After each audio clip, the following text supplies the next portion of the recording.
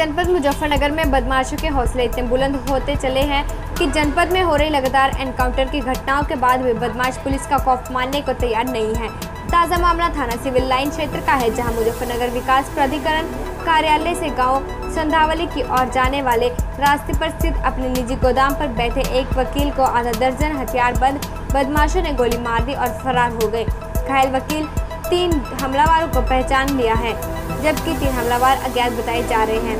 घटना के बाद वकील को अन्नफानन में जिला चिकित्सालय लाया गया जहाँ उसका उपचार चल रहा है। घटना की सूचना मिलते ही पुलिस मौके पर पहुँच गई।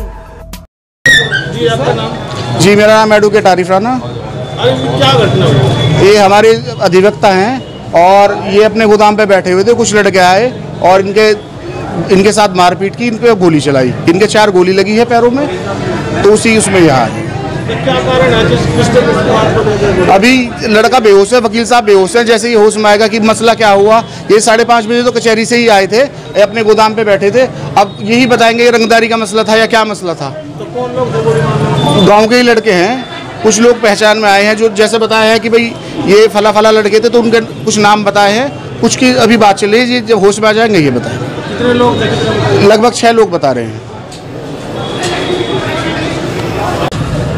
सर ये एक व्यक्ति हैं शाहनूर अ, जिनको गन शॉट जिन्होंने सस्टेन किया है।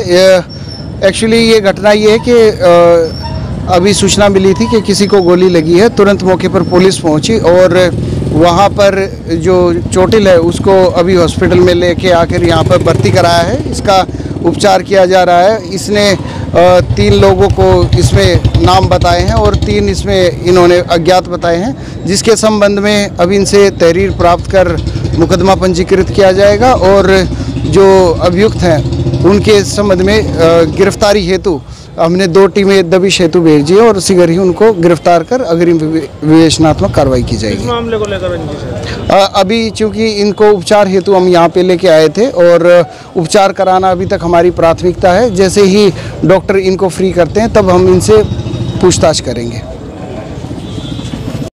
लेटेस्ट न्यूज़ देखने के लिए प्राइम ब्रेकिंग न्यूज़ चैनल को सब्सक्राइब करना ना भूलें और साथ ही डेली अपडेट्स पाने के लिए बेल आइकन को प्रेस करें।